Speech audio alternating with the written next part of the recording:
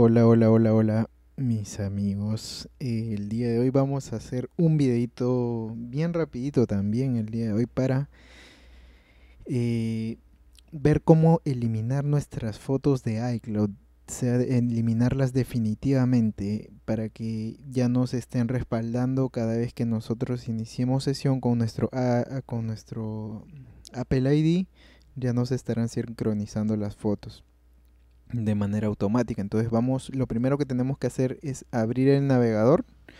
Nos vamos a ir eh, a Safari, bueno yo utilizo Safari, nos vamos a ir a iCloud.com y vamos en esta parte a iniciar sesión con nuestra cuenta de iCloud.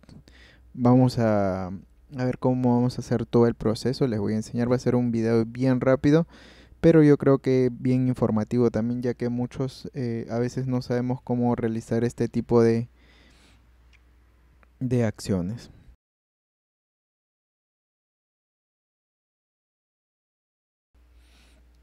Como vemos, finalmente nos ha arrojado nuestra, nuestra pantalla de, de iCloud en el navegador. Y acá vamos a ver las diferentes opciones de mm, como es mail, contactos, calendario, fotos, iCloud Drive, buscar amigos y bueno, todo lo que tenemos sincronizado con, en este caso con lo que es iCloud, ¿no? Bueno, lo que nos interesa ahorita es ir a fotos. Lo primero que tenemos que hacer es ingresar a fotos y acá nos van a aparecer todas las fotos que tenemos guardadas, las que tenemos almacenadas en este dispositivo.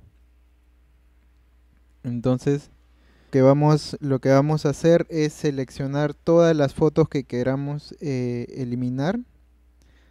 Vamos a ir este, seleccionándolas y simplemente le vamos a dar acá en el, en el tachito y las vamos a ir eliminando de, a pocos. Acá vamos a ver que nos envía un, un aviso de que se van a borrar estos tres elementos y se van a borrar también de las fotos de iCloud en todos nuestros dispositivos. Entonces lo que tenemos que hacer acá simplemente es darle clic en borrar y se van a borrar definitivamente todas las fotos que nosotros hayamos seleccionado.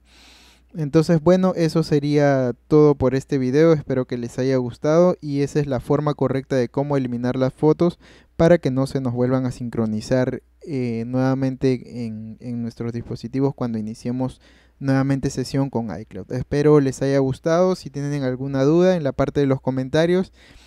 Y no se olviden, por supuesto, de dejar un buen like. Nos vemos, suscríbanse al canal. Hasta un próximo video. Nos vemos.